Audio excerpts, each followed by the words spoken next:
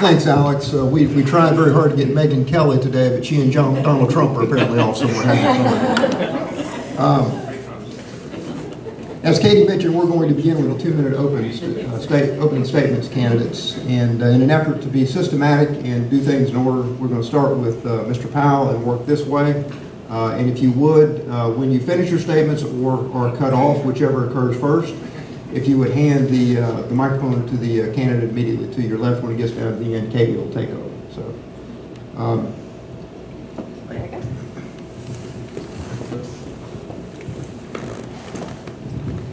Good morning, everyone. It's an honor and a pleasure to be here with you this morning, even before the cows get up.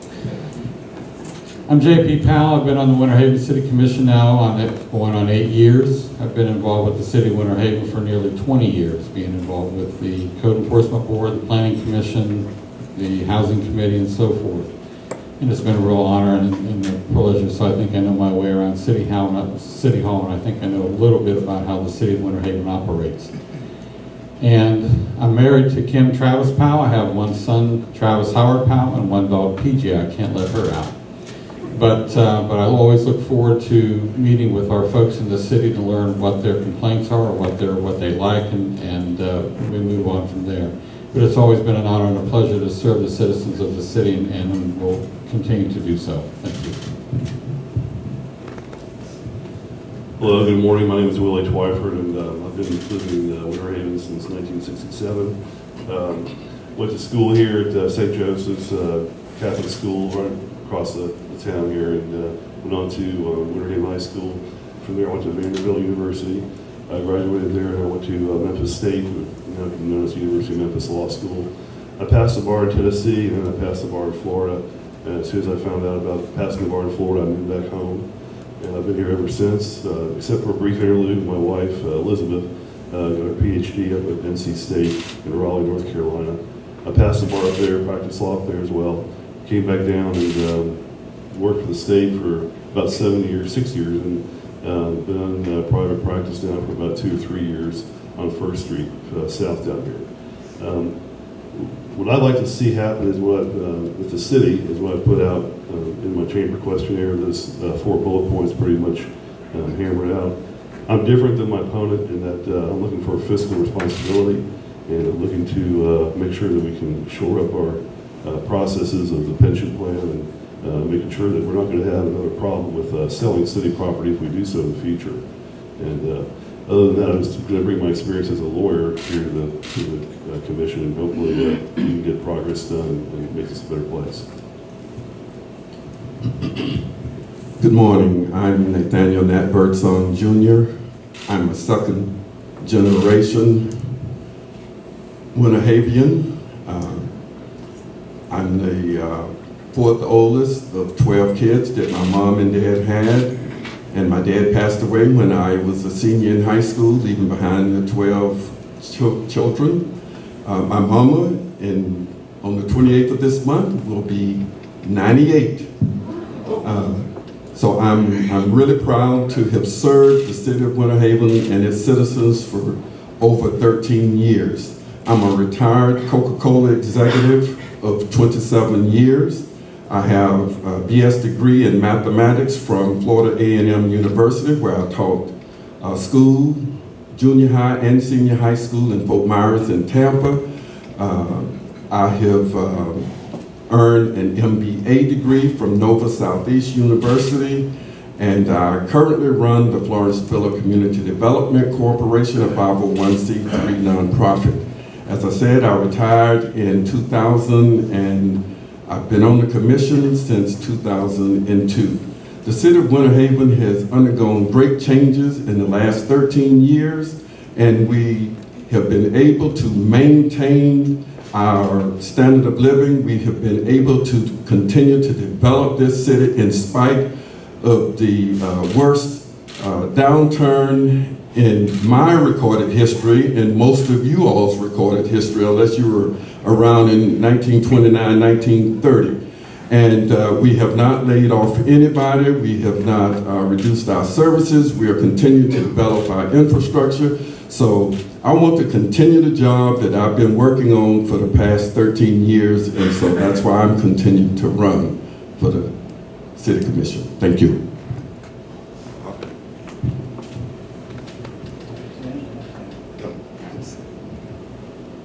Good morning, it's a great pleasure to be here. My name is Bob Jardine. I've been a resident in Winter Haven for a total of 30 years, living in the same home for 25 years.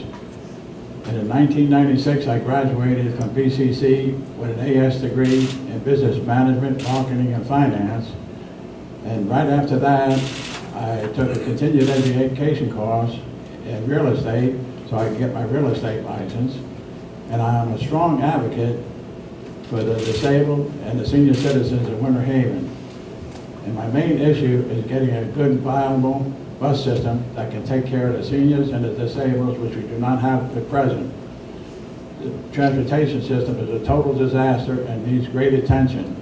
And that's my priority number one. And uh, I plan to- to serve with no special interest in in mind, just to do the job for we the people of the city of Winter Haven, and thank you. Good morning. I'm going to stand up. Don't worry, guys. I'm not going to do this for every question, but I want to be able to see you for the uh, the opening statement. I'm Kemp Brinson. Uh, two minutes. I can't tell you a lot about me, and I know that you are all going to be educated voters, and will check out my website. There's a little bit on the table out front. So I'm going to spend my two minutes talking about two things that are very important to me. The first one is efficiency. Two years ago, I served as co-chair of the Efficiency Committee for the City of Winter Haven. We wrote a report uh, with 41 recommendations of ways to make the city run more efficiently, more transparently, and generate new revenue streams without raising taxes. There is no better example of the way that I will thoughtfully and carefully approach a leadership position with the city than that report. And I encourage you to go check it out. It's on my website. The second thing I want to talk to you about is the other important job of the city commissioner. In addition to serving on the city commission, you have another job. Your job is to be an outstanding ambassador and advocate for the city of Winter Haven in lots of other forums, on lots of other boards and committees.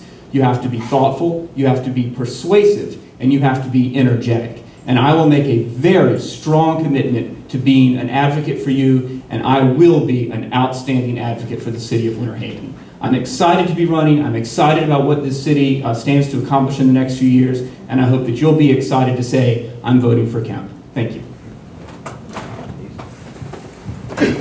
Good morning. Uh, my name is Pete Chiquetto. Some of you I know, uh, most of you I know, some I don't know. Uh, so it's a pleasure to be here this morning. I thank uh, Katie and the chamber, and as well as uh, Bob and his law firm for putting this event on. For the past four years, I've been standing up for everyone in Winter Haven, not just the small interest groups, uh, not just the developers, not just uh, you know some other folks out there in, in their uh, realm trying to get something done, but but everybody. And and you may or may not agree with everything I've done. Uh, and, and as a chamber, I, I'll tell you, uh, I've been a partner of the business community for four years. I've gone to bat for the business community. I've gone to bat when it comes to what's doing right for Winter Haven. Uh, there, there's an issue on, on Lake Howard that we may not agree on, and that's the trail. Uh, and, and that's fine, but I didn't get elected to agree with everybody. I got elected to serve the people of Winter Haven. That's what I've done for four years, and that's what I would continue to do for the next four years. Uh, I, I have uh, basically a wife that's been with Publix for 30 years. I've got an eight-year-old daughter uh, that I care much great, greatly about, and uh, those, that is my life, is my daughter, and so I'm very active with her, uh, with her school, with her dance, uh, various things of that nature, and I'm very active in the in the community. I've been on the Boys Club board for almost 12 years. I've been on the Salvation Army board for about 12 years now as well, and that, those two boards are, near and dear to my heart. Uh, what I'm going to provide for the children of our community. There's about 600 kids that, that uh, go to three different clubs at the Boys Club. Uh, and then there at the Salvation Army, we're doing about a thousand feedings a week when it comes to feeding the, the needy. Uh, so those two are a very good, strong passion for me. But the, the main important factor is standing up for all of our citizens in Winter Haven. And, and for four years, I have done that. I've been fiscally responsible uh, for this community. I have kept the public safe. I've looked out for the best interest of all of the public. And thank you for your time.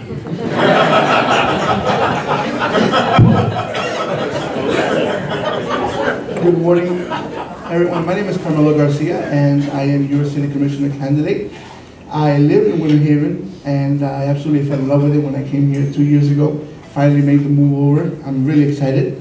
And um, I have a degree in business administration. I am the owner of two companies, which I brought to Winter Haven, hoping that it can grow and uh, bring job growth to city of Winter Haven. I have uh, two nonprofits. One of them is a Foundation for Kids, which I hold very dear to my heart, which is what my passion, what I do. And I just hope that through your questions, you get to know me a little bit better, and I can answer your questions with passion and as much passion and enthusiasm as these gentlemen did. Thank you very much. Good morning.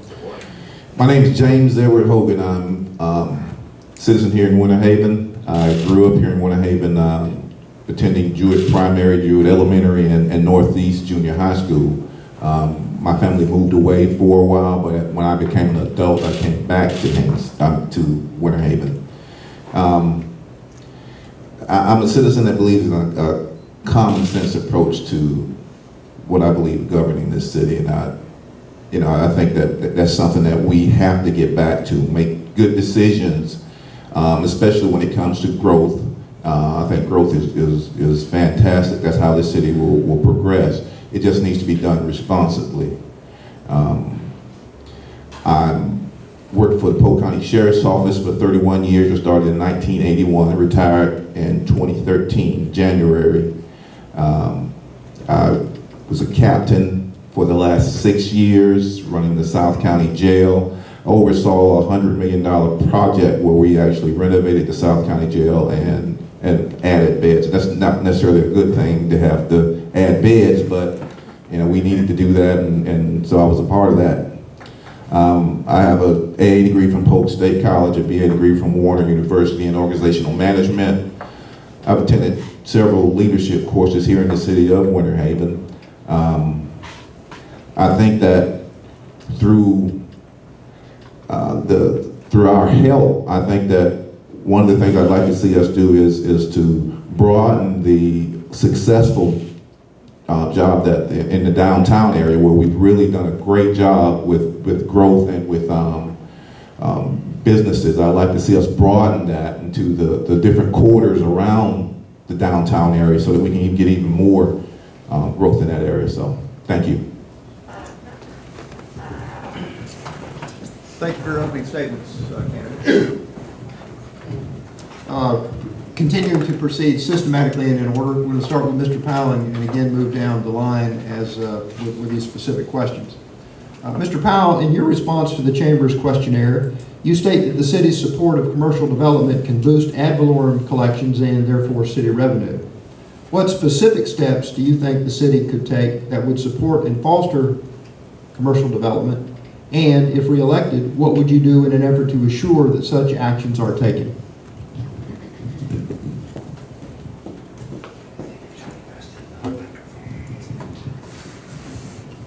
The downtown is, probably one of our most important areas of, uh, of, of our area. Um, I do know that we have a number of businesses looking at the downtown corridor. Um, we have to go out and, and there are some there are some types of businesses that you can go out and try to bring in. Um, we are in de desperate need for, I think, uh, some more restaurants and we need some more local shops. I think we need a, uh, a hotel to, to boost the downtown area.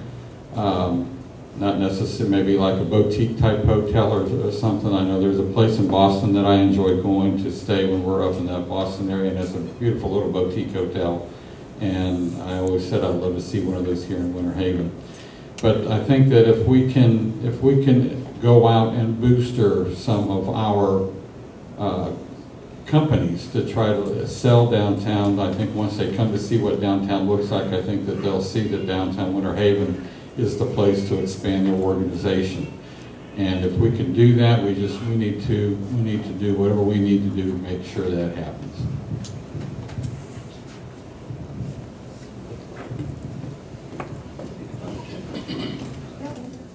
You won't have to work out this afternoon. I know. Mr. Twyford, in your response to the Chamber's questionnaire, you raised concerns regarding the management of the pension fund how city money is invested, and the use of utility funds to cover general expenses. If you were elected, what specifically would you propose to do differently while maintaining a balanced budget?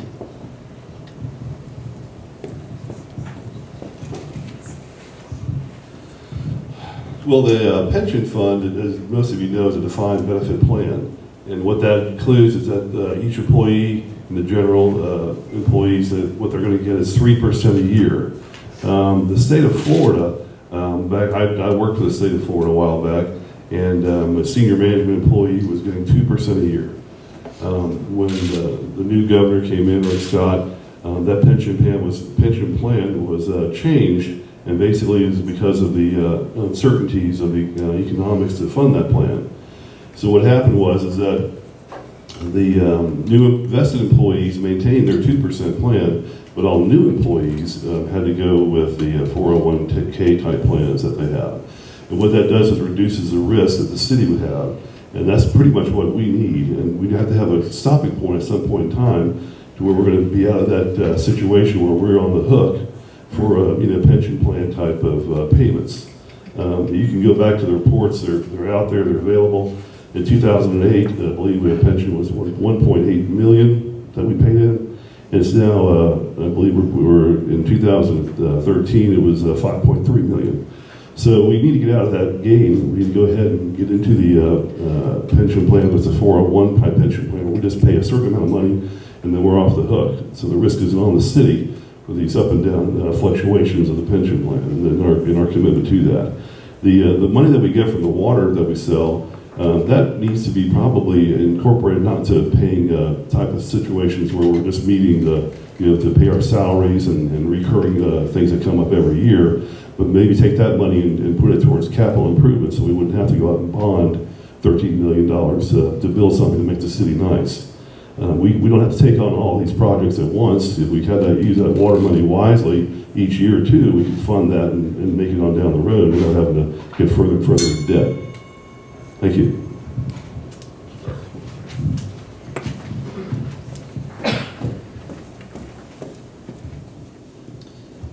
Mr. Birdsong, in your response to the Chamber's questionnaire, you mentioned how critically important it is to strategically plan and to have a strategic plan. Does the commission currently have an adopted strategic plan? And if so, if reelected, what would you do in an effort to assure that the city stays the course? And if it doesn't currently have a strategic plan, what would you do to ensure that a strategic plan is developed, approved, and implemented during your next term?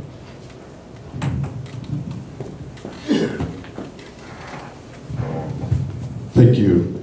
I need to take part of my two minutes to introduce my wife of 46 years, Elizabeth Birdsong, is in the audience. And uh, I also have two sons and uh, four grandchildren. Now, to the question of the strategic plan, over the past 13 years, uh, the city commission and the city, we have uh, worked on goals and objectives and a part of our goals and objectives process has been intertwined with what has been uh, given as a vision and an updated vision for the city of Winter Haven. The specifics of a strategic plan we have uh, not developed uh, the quote unquote terminology strategic plan.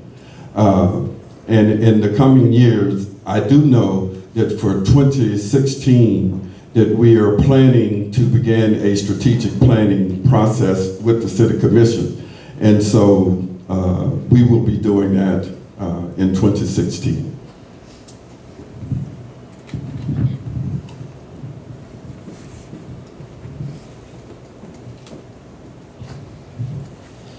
Mr. Jardine, in your opening statement and in your campaign materials, you mentioned the need for improvements to the current bus system. What specific changes do you recommend? And if elected, what specific proposals would you have regarding how the associated costs would be funded?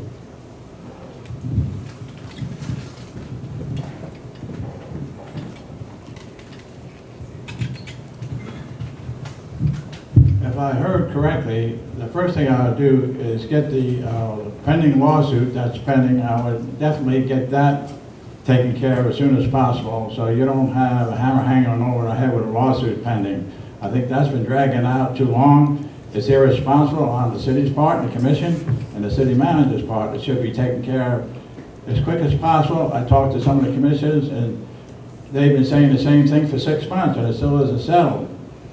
That's a step in the right direction. How can you advance when you got a burden like a lawsuit hanging with not taking care of that? So I think that's the major step, and then the next step would be getting a viable bus system within the city itself, like the Smart Shuttle, to get people, senior citizens and disabled, to go around the city to help the business sustain themselves here, which we don't have.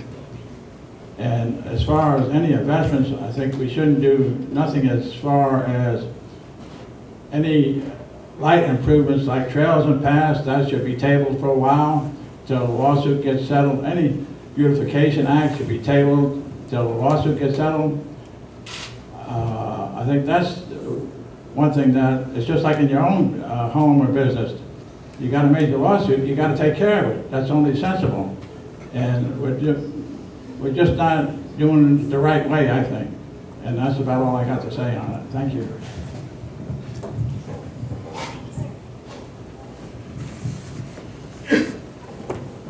If anyone would like to sponsor a second microphone at the chamber I'm open to discuss afterwards. Amen. Mr. Brinson, in your opening statement and in your response to the Chamber's questionnaire, you referenced that you served as co-chair of the Citizens Efficiency Review Committee.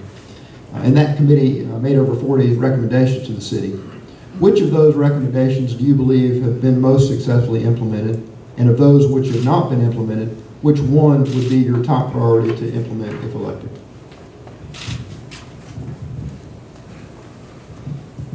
Thank you. Uh, yeah, the efficiency committee was a wonderful experience, and um, and I think you know a lot of what's in the report is very high quality. Uh, the most important recommendation that we need to move forward on immediately, and this was detailed in the report, is strategic planning.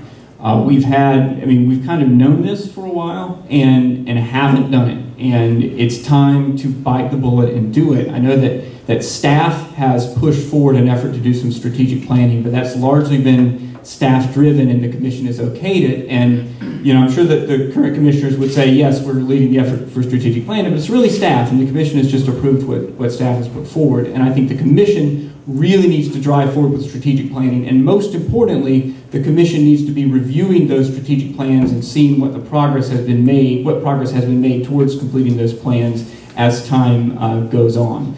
Um, in terms of recommendations that are that have been done, I think that um, most of the ones that have been successfully implemented have been more staff level uh, type things, uh, things that staff can implement um, on their own. One of those has been the um, uh, the reduction of uh, garbage from two days a week to one day a week. That was already underway when we did our report and uh, has, has largely been completed at this point. So, um, so that, that's one example. But the big picture stuff, the stuff that's really a commission level responsibility, has not been done, and strategic planning is, is the top priority there.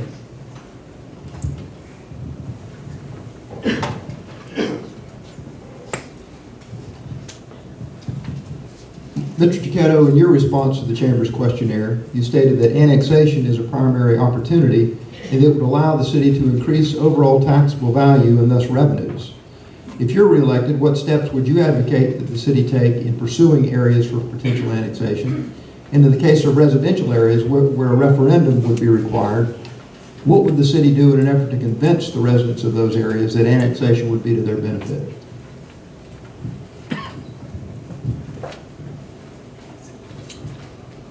Thank you. Uh, first of all, annexation is, is important, and I think we can look at um, our big partner out there called Legoland. Uh, Legoland has been outside the city since they came to town. I'd love to have them be a partner with Winter Haven. How cool would it be to get off of US 27 and see what I would consider Lego block lights coming down to get into the park, or, or a theme from US 27 that says "Welcome to Winter Haven" and "Welcome to Legoland" to get them into the park. Uh, the second part of that question was annexation of, of infill communities, uh, in particular, you know, the, the areas that, that we provide water and sewer to and, and two-thirds of our services to, um, but yet they don't pay for services like the library They don't pay for services like our recreation facilities. So to- to address that annexation concern, it's simply going to those homeowners and, and convincing them that Winter Haven's a great place to live, work, and play, and it's cheaper than you're probably paying in the county. And, and we don't have a fire tax, we don't have a fire fee, um, so that would go away. If we can show them that there's a zero increase in their taxes, then it makes sense for them to annex into Winter Haven and become part of our, our great city. If you have not turned in your question yet to Jennifer, please lift up your note card and Jennifer will come and grab that for you as well.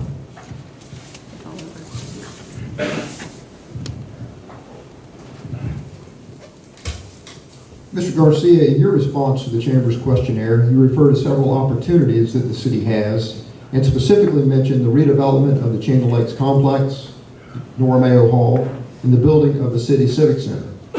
Your response states that the city could do all this and spend minimal taxpayer dollars. If elected, how would you propose to pursue these opportunities? What minimal city tax dollars do you think would be required?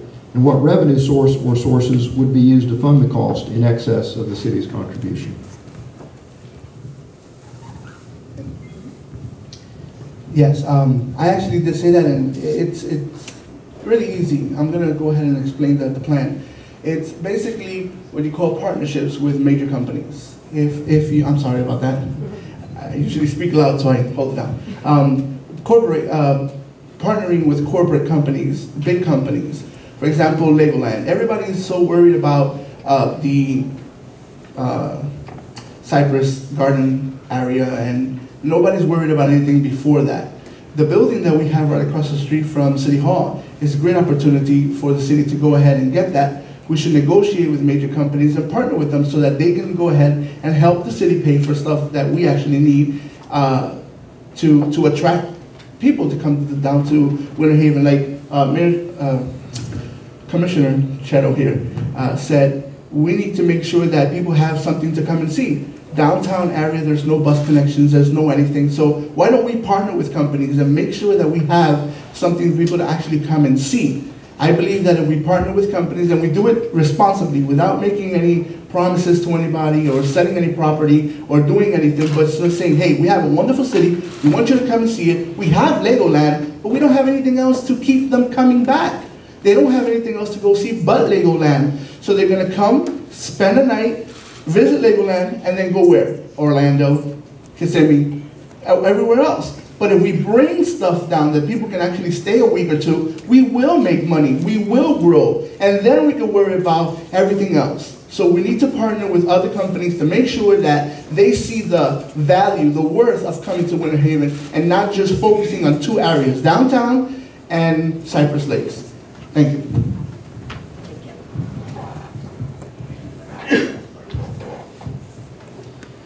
Mr. Hogan, in your response to the Chamber's questionnaire, you stated that the city should continue efforts to bring new businesses that are in line with current businesses and specifically reference CSX. And you mentioned the use of responsible incentives that keep us competitive but allow for quicker economic impact. If elected, what specific types of incentives would you recommend, and how would you measure the economic impact and return on those investments?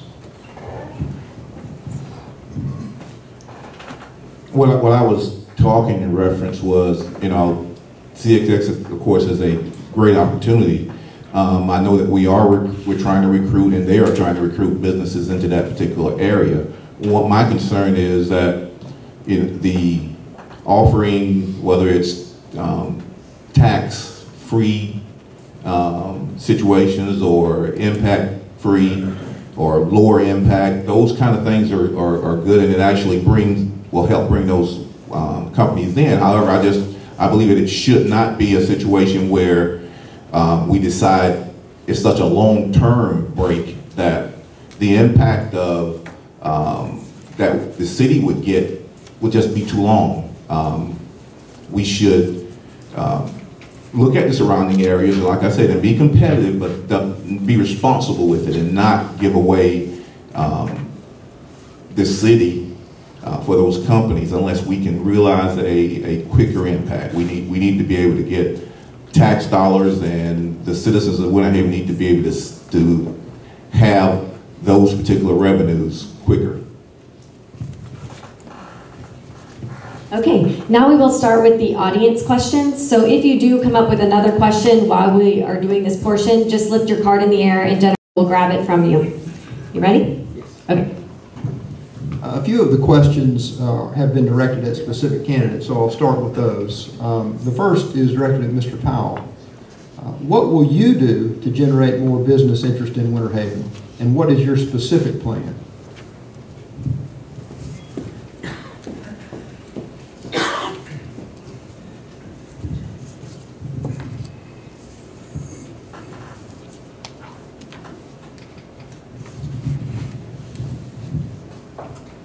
We have to have public-private partnerships, and to be able to do more, to bring more business to our community, we have to form the business-private partnerships, and, um, or the city, uh, the uh, government-private businesses or partnerships. And, um, and number one, we have to work closely with our Chamber of Commerce to help promote our Chamber of Commerce and to help the Chamber partner with us to get our name out there. Winter Haven Economic Development Corporation, we have to work with them. Central Florida Development Council, which plays a big part in not only Winter Haven, but Polk County and the surrounding areas. So we have to form that, that private-public partner relationship to encourage them to work with us and to help generate business and bring businesses to this area.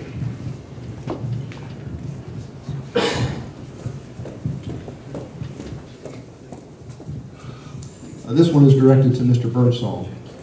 Says, without a strategic plan, how do we have a quote roadmap, end of quote, for our city, for where our city is to go?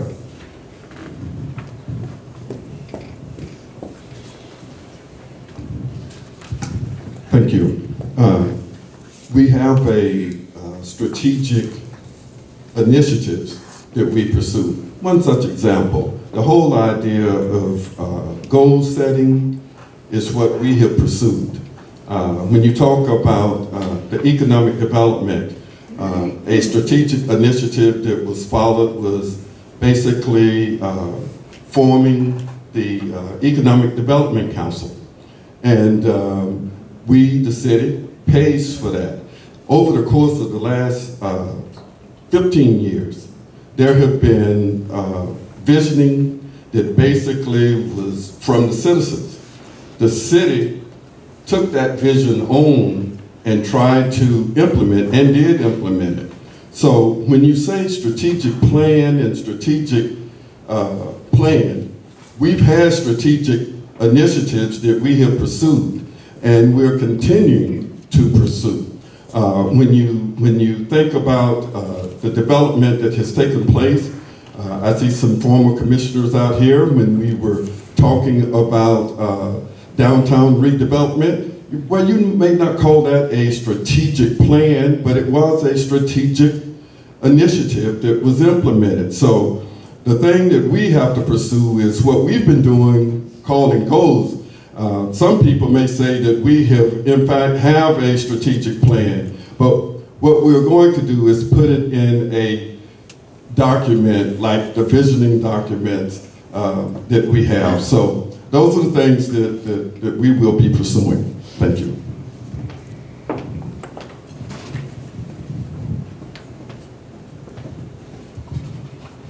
This one is directed to Mr. Garcia. It Says that you have recently moved your office, uh,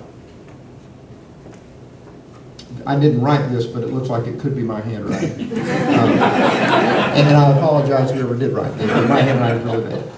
You've re- recently moved your office uh, from, from, oh, I beg your pardon. You've recently run for office in Kissimmee. Uh, When did you move to Winter Haven, and why choose to run in Winter Haven, being so new to the community? I did. When I first left New York, I uh, did not want to come to Florida. I hate the heat. It's not my friend, and I didn't want to come here. But my mom, who's sitting outside, told me, you need to come visit. The minute I landed and came out of the airport, I saw how beautiful it was, and I just I fell in love with Florida. And Kissimmee was my first stop, and I stood there. I've always wanted to help my community. Everywhere I go, in New York, uh, Florida, Chicago, wherever I've been, I've always helped in my community. In Kissimmee, I ran for commissioner twice. Unfortunately, I have not been successful in winning a seat, But um, I keep fighting for what I believe in, and I keep fighting for what I believe the people need. And I decided to run, I moved here in March of this year. I've been to Winter Haven before, my nonprofit organization serves in the community, and we do events like the one we're doing at Regions uh, for November, the weekend of November for Thanksgiving. We're gonna be giving away turkeys to homeless families. So those are the type of events we do.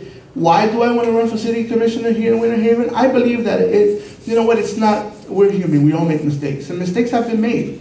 But it's time to stop thinking like the old and start thinking about the new. Stop making the same mistakes over and over and over again. We need to start keeping in mind, focus on what's important, which is being uh, business sound. We're, we're running and we're serving the people of Winter Haven.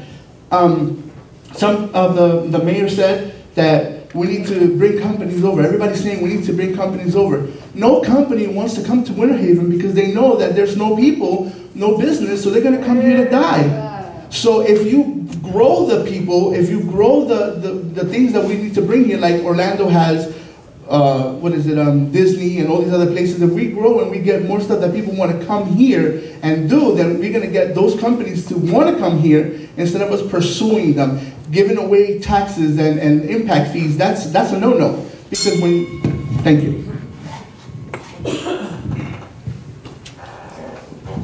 I have to tell you, I was envisioning having to get rough with some of you for going over. So far, you haven't given that opportunity. Uh, this one is directed to Mr. Jardine. Uh, this question says, it's great to have a more helpful transit system. How do we offer this to students in our school system for free?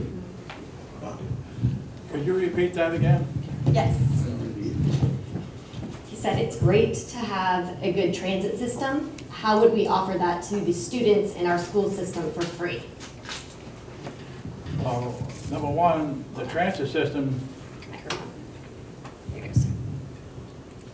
we have two types of transit systems that's available for the city, and that's uh, paratransit that goes door to door, and the smart shuttle that goes from quadrant to quadrant, which used to go from door, from curb to curb, which they cut out July 6th, and now it's going quadrant to quadrant. And we got bus drivers that's working eight hours a day, riding in a circle, picking up two passengers a day, when they used to pick up 30 a day. And that's been going on since July 6th, and nobody's doing anything to change it, modify it, or anything else. So that's number one, needs to be get squared away, and I'd like the city to try to apply for the grant to take over the smart shuttle from Lakeland and keep it in our own city and take care of our own people uh, is what we need to do. And I think it's an easy task, just apply for the grant like we did with the watch system when the Rishi started to get the bus system 13 years ago. And uh, a good system is going to help, plus getting strategic pe- business people to move into downtown that's going to stay a while. We used to have a bakery downtown that was a striving business that did terrific. Uh, used to bring people downtown. Do we have a bakery now? I don't think so. That would be one initiative to bring people downtown on a regular basis. Plus maybe going to the avenue of computer software or making small parts for computer light industry. That's another way they could go to bring people uh, to the city. And, uh, but we need to get more strategic on allowing what type of business to come to the basic downtown area. We don't need 15 restaurants downtown for sure. We need to get the people to use the restaurants. So they got to be more specific on what their type of business they're allowing to come into the community.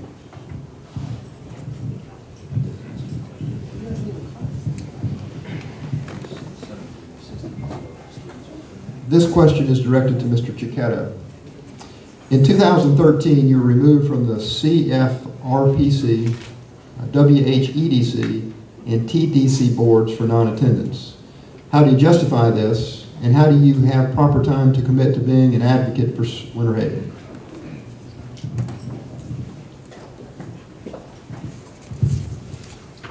Well, let me clarify the, the record first. Um, The word removed is a little uh, misguiding. First of all, every year we, we change seats in terms of liaison boards.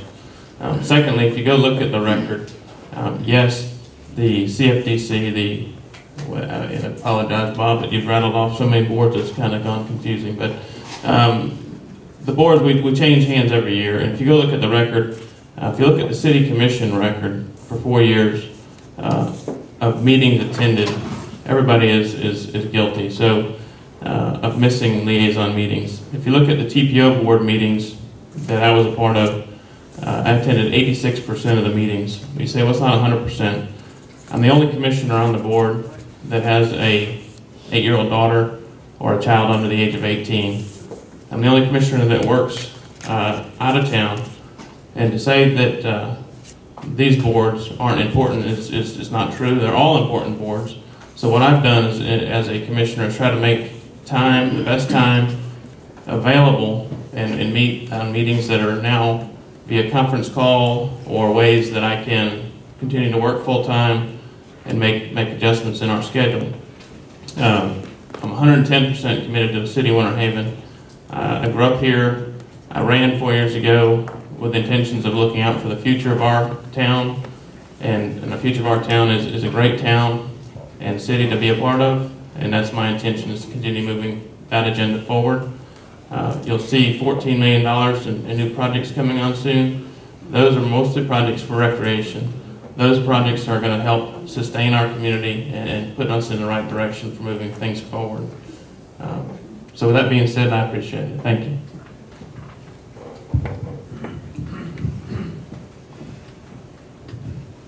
Uh, This question is directed to Mr. Twyford. How many city commission meetings have you attended? And have you done any work on any city boards or city committees to help you prepare for the job as commissioner?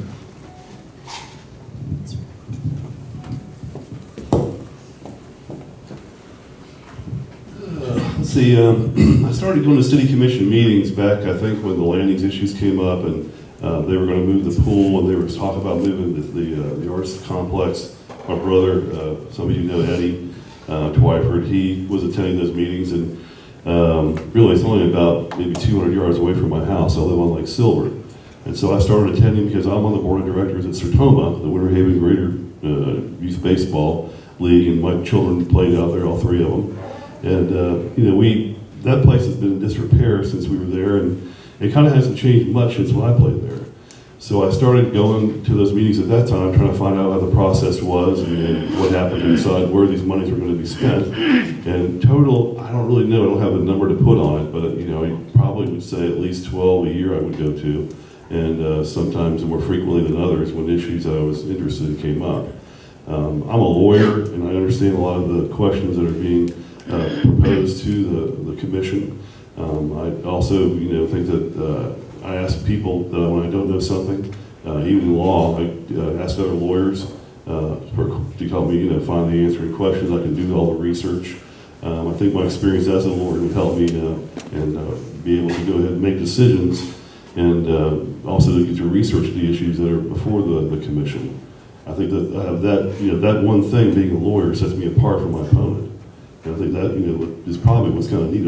I, I would never have voted to go with the the landings deal to begin with, and uh, the, the handling of the lawsuit, I disagree with how that's come about as well. Um, I think that you know, my experience as a lawyer and, and the knowledge that I have as being a lawyer would be helpful to, to the commission.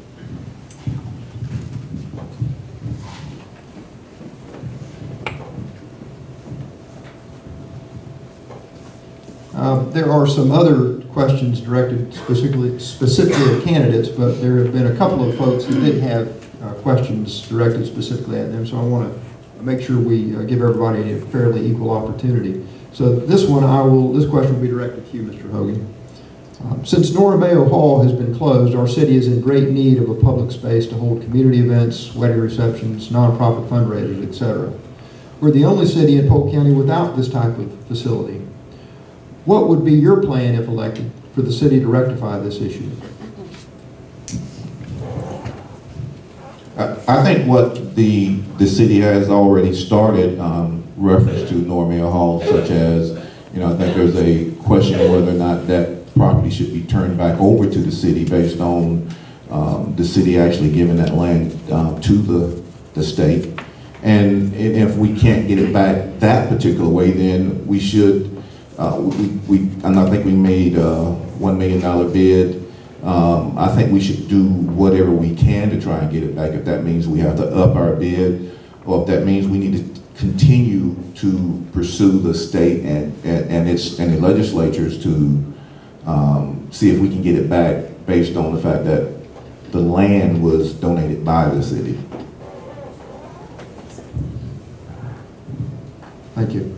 Uh, Well, after that last statement I made, someone brought in a question uh, specifically for Mr. Brinson, Um, and it's two parts.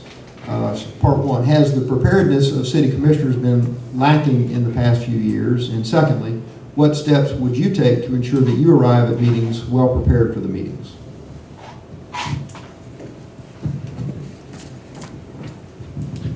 Thank you so much for that. Um, I think that preparedness on the commission has been a problem. I think if you go to a commission meeting, you don't walk out of that meeting thinking, man, they really knew a lot about that issue before they showed up here today.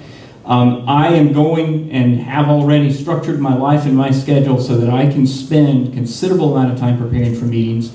Um, I've made a pledge openly to be the most transparent commissioner in Winter Haven history, which means that when I do research on agenda items that are coming before the commission, I will post the results of what I found out, the questions I've asked, the answers that I've gotten, the documents I've received on my website so you can see exactly what I've been doing to prepare for meetings so that you know that I'm going into those meetings prepared. And if there's anything you think that I've missed or have not seen that needs that I need to see, you'll know that I'm deficient in that area before the meeting and can bring those things to my attention as a member of the public.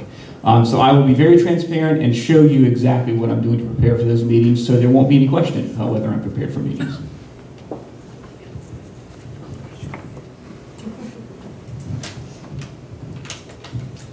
This is a question that is directed to all the candidates, and what I will do is I'll pose the question, and then uh, Katie can give you the uh, mic, Mr. Powell, and we'll let Katie rest as you all pass the mic down. Uh, but, but the question is, please indicate your current position on a fire fee.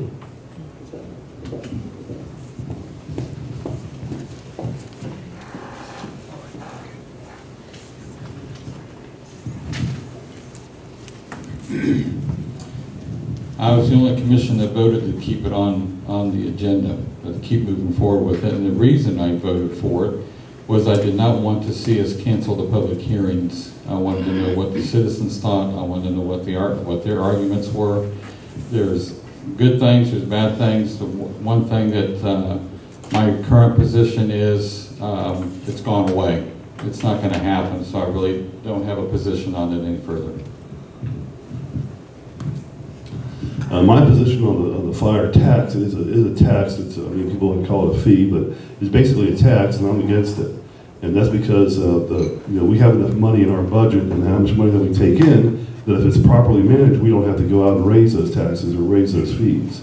Um, I- you know, I was shocked when it was brought up at first anyway, because I think it's because that when government sees these other types of uh, available sources of income, they don't really think of anything more than just go ahead and, and, and put a fee on somebody and get more income, as opposed to, you know, making the hard decisions, uh, like the uh, general pension fund. And I want to point out that doesn't affect the uh, fire or the police pension fund. Uh, those are different funds, those are different uh, uh, types of situations, and those people in those, those type of class of those pensions um, do have a, um, a, you know, they're harder to find, those kind of people, and, you know, those things can be justified that they do, you know, a job, they risk their lives. Um, but the fire tax is just, uh, you know, it comes in as a little bit, and then sooner or later, they can change that whenever they want.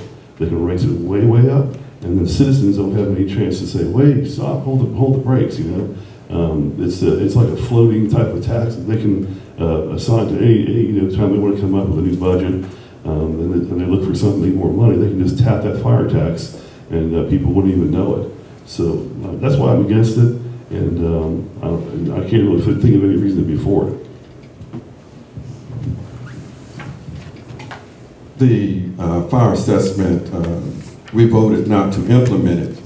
Uh, And the reason for that is that uh, initially, when we were looking at the projects that we wanted to fund, we wanted to fund those projects in their entirety.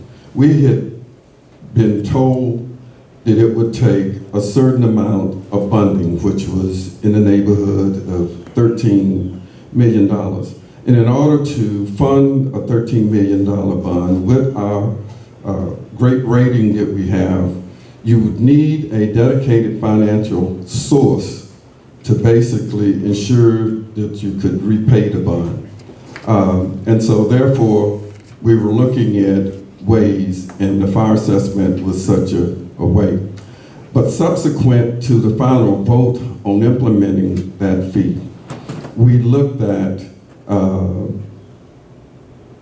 funding a lesser bond and uh, being able to do that without any file assessment, but having it tied to the um, ad valorem rate that we currently have. So the projects that we uh, decided that we needed to implement, one thing's a fact, in the city of Winter Haven, we have not had any substantive uh, projects in the neighborhood of recreation in over 15 years, maybe even longer than that.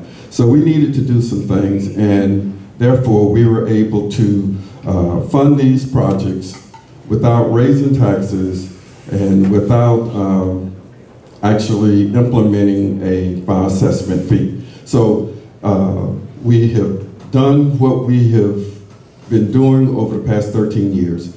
We have been able to manage the monies of the city and do things that we need to do to improve for all of the citizens. Thank you. Same question. Same question. Well, all the, It's on the fire assessment fee. How would you stand with the fire assessment fee? fire assessment fee? Yes.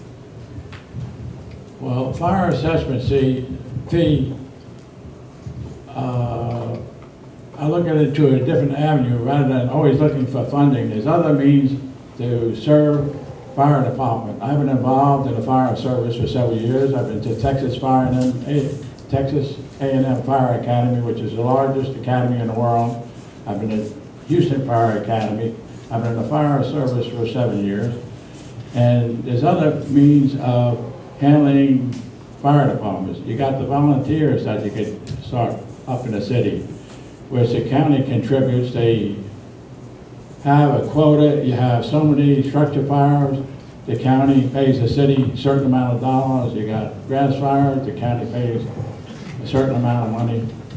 So you don't necessarily have to right away jump on a bandwagon have a paid fire department. A volunteer fire department can do just as good as a paid department. And it would be good for the kids, the young 21-year-olds to 30-year-olds to participate, and that would help more participation in the community with a volunteer section to part participating. So that's what I would look at, rather than going out and spending more money when you could do it with volunteers. And so many cities around the country, that's all they have. In Texas, that's the majority. And they do a fine job. So that's all I got to say.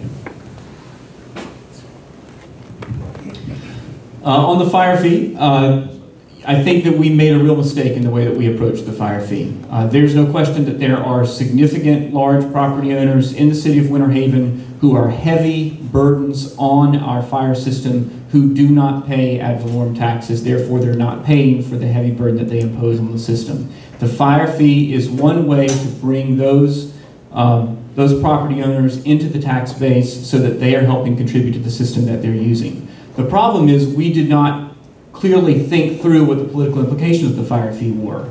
And if you're going to raise taxes and impose new fees on citizens, you better be able to justify it. And we were not able to justify it, and it died due to political pressure from the citizens. I would have supported the fire fee if it had benefited the fire department, and it did not. I would have supported the fire fee if there had been a corresponding ad valorem tax reduction to offset the additional burden on people who are already paying taxes, and as proposed, it did not. And I would have supported the fire fee if it had had a more streamlined, easier to receive benefit, or excuse me, easier to receive exemption for truly destitute homeowners who cannot afford it. And there are certainly those people, we do not want to make did not want to make that a regressive fee. Um, but that there, there was a process for that as proposed, but I thought it could have been simpler and easier. Um, so those are the only conditions under which I would have supported the fire fee. Um, because it's died, because we tried and it failed, um, you know, so gloriously, we're probably not going to be able to bring it forward again um, for a while. So I, I don't know if that's something that, that can move forward now or not. It may be something to look at in the future. Um, but I wish that we had had more foresight going into it, and we might have been able to justify it to our citizens if we had. All right, first of all, I want to uh, back up and, and touch on one subject I didn't have enough time for, but I'll get to the fire fee really quick. Uh, that is that is my record. Uh, you can point fingers at a liaison board all day long, but go to the commission meeting record for four years, and I can tell you, standing here in front of you today, I've done my research. The number one commissioner on the board for missing zero meetings, Stephen Honeycutt. Number two, myself. I missed one meeting in four years. The worst attendant is not running for reelection, but you'll figure it out. There's only five of us up there. Okay, so on to the fire fee. Uh, the fire fee, I, I couldn't agree more with what Kemp said. Uh, we didn't have a good plan. We had a plan that was going to generate $1.6 million. It was a common day shell game. When you take money from the general fund of 1.6 million fund recreation projects, that's what we were going to do. You would have had to fill a void in the fire department, and that's where the fire fee came from.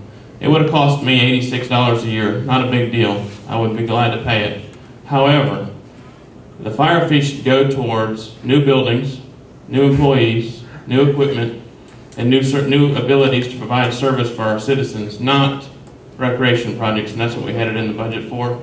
I came up with a creative plan that said we're going to take a one-time sale of assets and put it towards the projects, the $13.5 million projects. We're going to bond $6.2 million. Not going to raise taxes with that 6.2 million, and we don't need a fire fee. I'll be glad to look at a fire fee in the near future if need be. That would indicate to our citizens that we're going to buy new equipment, we're going to put new employees on the streets, and then we're going to build a new fire station with a fire fee. I'll gladly support that. But the current fee that we had in place did not do that. That's all. Thank you. Fire fee, I don't support it. Uh, any fee that raises taxes on the citizens for other projects other than what they say they do is totally irresponsible. And going back to the meetings of Mr. The Commissioner Chichetto, um, can miss the meetings and whatnot. I'm going to be very honest with you. The people elect the commissioner that can support them and be there for them. And when we're taking vacations, uh, spring break vacations and missing meetings, uh, that's not very responsible.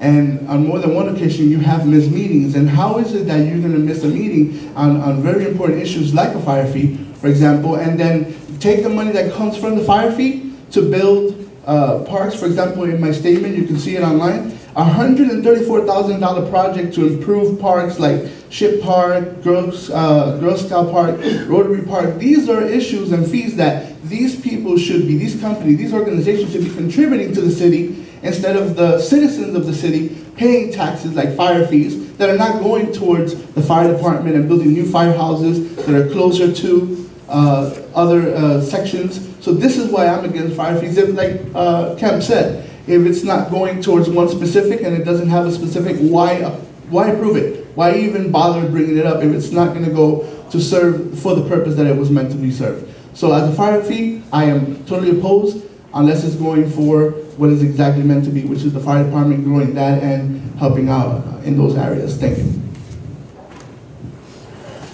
The, um, the, the fire fee, I agree that it's, it's basically a tax and it's just like in any other tax. So anytime we are going to um, take money from our citizens, we better have a good reason for doing it. We need to be able to justify it. I, I think as you move forward in any city or any, you know, any county, those sort of things are going to come up. Those uh, looking for different revenue sources are going to come up. And we have to look at those things and make good, responsible decisions. Thank you. All right, we have time for one more question for each candidate. Um, and if your question does not get asked, I'm sure the candidates may have a couple minutes afterwards to hang behind to um, answer your question. So, Bob. Uh, some other specifically directed questions have come in. This one is uh, for Mr. Birdsall.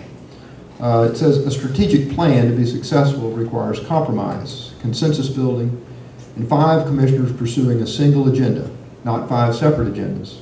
If re-elected, how would you work to build a more focused, committed commission?"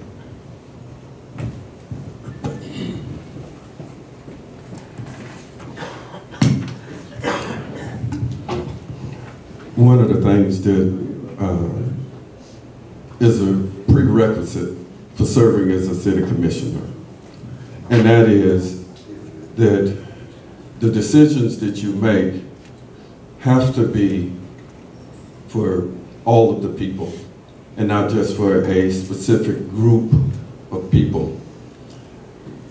Over the past years, the major, major decisions that we have agreed upon uh, has taken a toll on us all. We sit and we debate uh, and we talk. But at the end of the day, I think if all of the commissioners, and this has been the case in the past, when the facts are presented,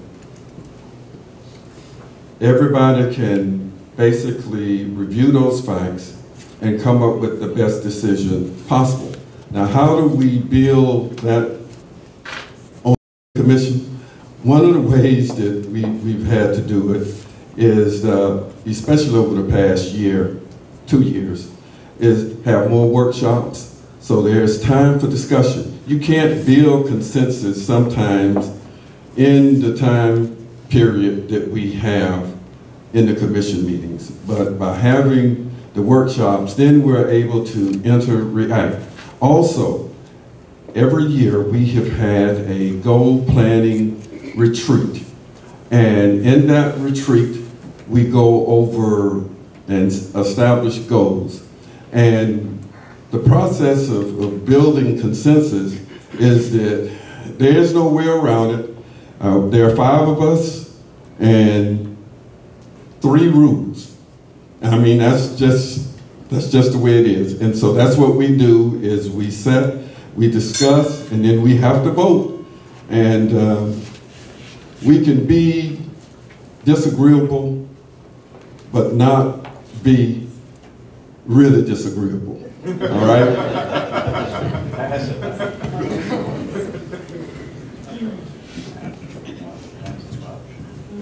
Uh, This question I'll pose to Mr. Powell. How adequately do you feel the city's investment is in its infrastructure? And what percentage of the city's budget should be dedicated annually to catch up and keep ahead of uh, depreciation?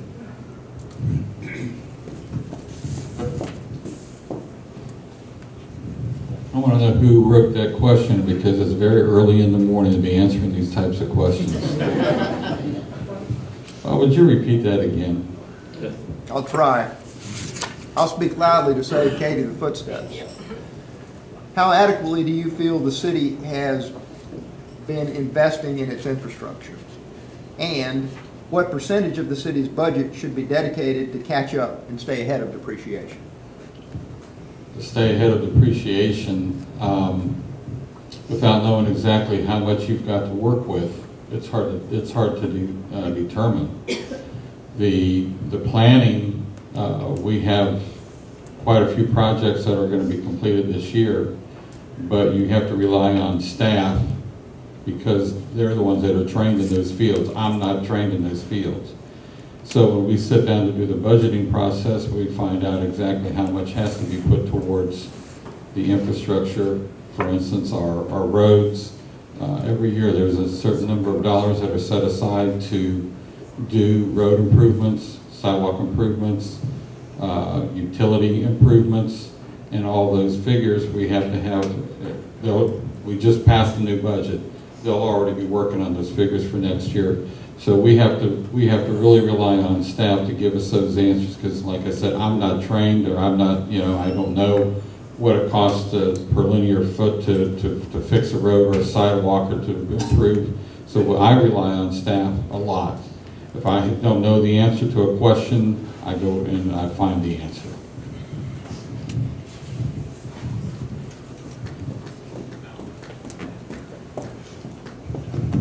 This question I'll direct to uh, Mr. Twyford. Um, says that the Winter Haven has a strong pedigree and has earned a national and international reputation for excellence in the arts. What can the city do in an effort to preserve and enhance its commitment to the arts? And then it goes on to say there are tickets still available for Sister Act. Mr. Twyford, I don't know that you need to comment on that last part. Yeah, I'll comment on Sister Act. I saw it on Friday and it is phenomenal. So fabulous. So get your tickets, only a few seats left. Well, it's kind of a compound question, but I'll try to get to the first part. I, I mean, I'm a fan of the arts. I'm a fan of the any type of recreational activities, and I mean, I think it's true that Winter Haven does have a national, if not international, reputation for the arts. And I, and I'm, I'm Kemp's uh, really involved in that. And I've been to many meetings when Kemp speaks up and tells us what's going on down there, and um, you know, just being living in this community, growing up in this community, I walk around and see the art that we have in Central, you know, the park here. Um, I like the um, the art that we see on the side of the buildings here that uh, I think 610 has brought in some people and have done that, and it's really improved the aesthetic of the city. I'm all for that. And that's this is one, one part of it, um, but it should also be funded as well. And I think that that's, you know, the, the part of all this thing comes down to is the proper management of money. And uh, that's why we you know, we take these big bonds out and pay for things, but we're better, you know, able to go ahead and look at the big thing that we're doing here, and that's what the strategic plan is. We don't have these uh, special uh, strategic initiatives. When you intertwine all those initiatives, that's when you get the, uh, the plan. And the strategic plan needs to be, it, needed to be developed you know, a long time ago. I mean, this is hurry up to catch up with, with the strategic plan, but part of that plan is the arts. We have to, you know, foster the arts and we have to maintain the arts and just like all the other recreational facilities. I don't think, and I'm not putting the sports facilities ahead of the arts, and I'm not putting the arts ahead of the recreational facilities for sports. I mean, it's part of the whole, uh, you know, big picture of how to make Winter Haven a better city, and that needs to be part of the strategic plan.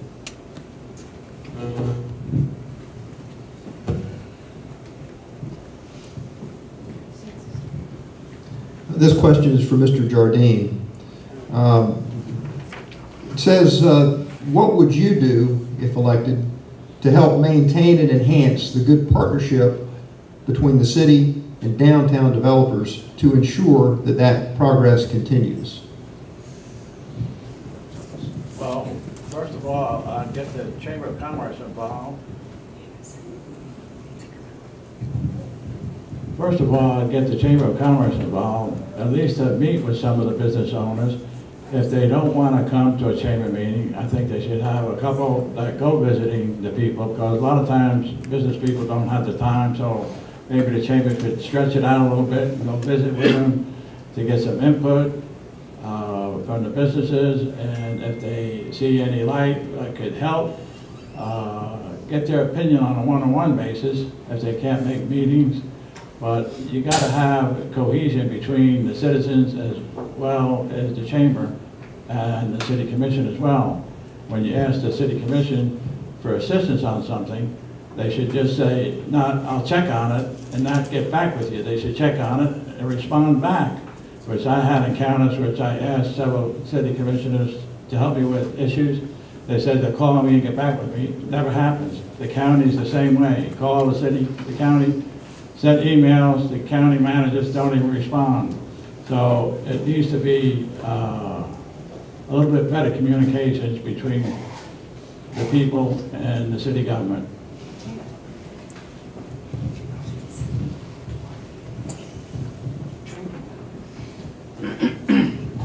This question is for Mr. Brinson. Uh, What ideas and suggestions uh, would you be making regarding increasing the city tax base?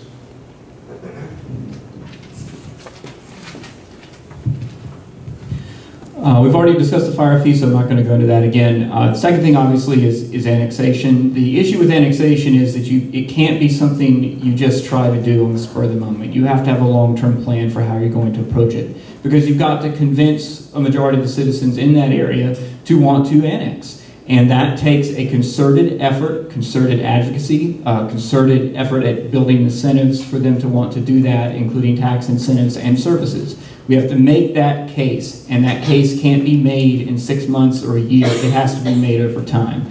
Uh, so as part of our strategic planning process, I'd want to have you know three, five, and ten year goals for annexation. Where we need to decide which areas we're going to target first, which specific areas we're going to target first, how we're going to target those areas, and how we're going to spend years, not just a few months, advocating for and making it beneficial for the citizens in those areas to annex into the city. That's why the strategic plan is so important. I want to define that. We haven't really defined that today. Strategic planning, in, in my view, takes your vision of where you want to be, which is a city that has a broader tax base in this case, and actually sets reasonable one, two, three, four, five year goals and numeric targets to getting there so that you're focused on your long term goals on a day to day basis. And by going through that exercise, we can come up with an annexation plan, but we have to commit to that exercise. Over the past four years, we have not committed to that exercise until very, very recently, uh, in part in response to staff, in part in response to the efficiency committee's work. Um, and so I would spearhead that and make sure that we have a clear annexation plan that covers a multi-year process to make that happen with specific target areas.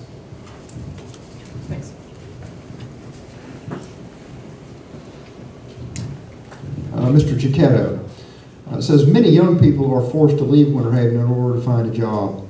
What will you do to bring jobs and businesses to Winter Haven in order to keep these young people around?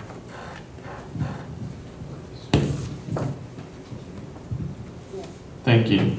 Um, you know, economic development has been on the forefront for myself and, and the commission as a whole for the last four years. Uh, we saw the, the impact we've had with CSX. We saw the impact we've had with downtown.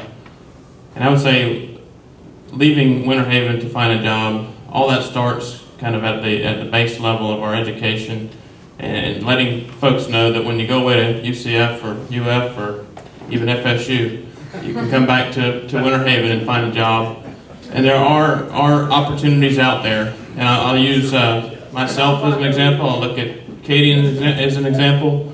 When you go away, you got to remember where you came from. And, and there are opportunities out there. And, and it starts with providing the right information. It also starts with in our in our schools because I'll tell you right now, our labor force, whether you're in construction, underground utilities, uh, it, it's very poor. You can't find quality help in those areas. But if you're in the IT department, if you're in a uh, uh, education level, you can always find a job at Polk County School Board. There's work out there, every you know, in, in all aspects there. If you're looking for new jobs, new businesses, that's what we've done. We've created incentives that already exist. Uh, we've created an investment in our downtown. We've created an investment at CSX, and we'll continue to do that. And that would lure folks back for, for good, high-paying jobs.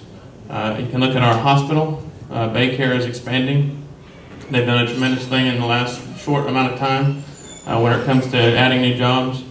Uh, if some folks go away to law school, you've got two attorneys here uh, on the on the board. They're you know looking to, to become council uh, members. They've come back to town after leaving, to, you know, to go away to school. Uh, so there is opportunity, and I think we have to do a better job of selling the opportunity and, and pointing out the facts that Winter Haven is a great place to live, work, and play, and raise a family.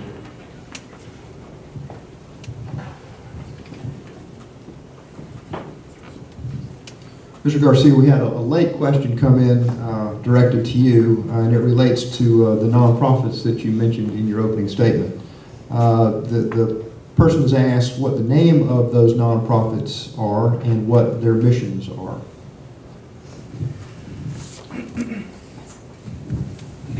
Uh, the two nonprofits is uh, CIA uh, Chaplains in Action. It's a religious non-for-profit organization, and what we do is we work with law enforcement emergency response teams to make sure that they have what they need to do their job correctly. Uh, chaplains are very important with, with law enforcement, uh, hospital, prisons, and in the street. We also have the Keep Our Kids Safe Foundation, and we deal with kids, single families, and homeless families that are in the streets. We help with clothes, with food, with um, uh, utility payments, uh, rent payments, anything that has to do with helping them and their quality of life. To make sure that we don't have homelessness, that we don't have children who are on vacation from school and are hungry. We have partners in the community like Regions Bank, uh, like Chick-fil-A. Um, people go there, we have information, we are building, we're building relationships here in Winter Haven as we speak. And like I said, in November, we will be at Regions Bank on First Street and we will be handing out food for Thanksgiving, and we will be doing the same thing for Christmas uh, for kids with the participation of the police department. Uh, we um trying to get the chief. Uh, he's been very helpful and supportive of us, and we're trying to get him to come out and, and give out some of the tours to the community. So if you guys need more information, I will definitely be outside. I'll give you my card, and you can look up the uh, organizational mission and vision statement. And I'm an open book. You ask a question, I will give you an honest answer. Thank you.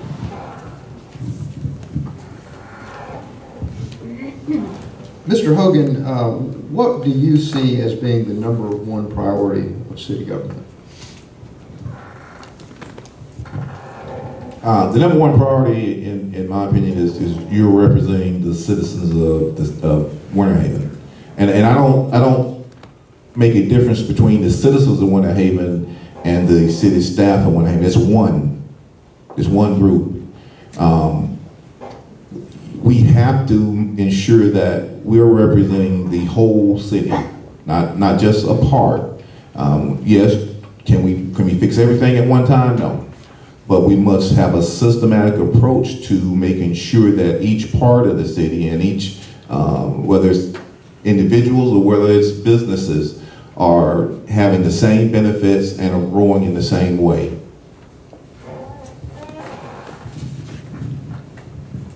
Well, candidates, thank you very much for your participation uh, this morning, uh, and thank you for the civility. It took a lot of my fun away, but uh, that- that's appreciated. Uh, And and thank you to everyone for coming out this morning. Thank you, Chamber.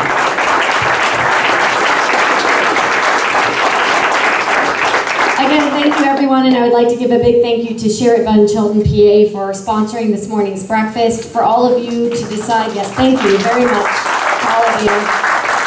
Um, remember, Election Day is on November 3rd, Tuesday, November 3rd. Please encourage everyone to get out the vote. Um, if these video equipment, I'm recording on three different things. If one of them worked, the video will be um, online this afternoon, um, as well as the candidate questionnaires are on the blog. Share that information. As you see people talk about the election on social media, share the information. Um, we want to make sure that people are informed and that people know that election day is on November 3rd. Um, the last city commission election, I think 2,500 people voted. Let's see that number go up. So thank you for making a conscious decision to be here this morning and have a productive rest of the day.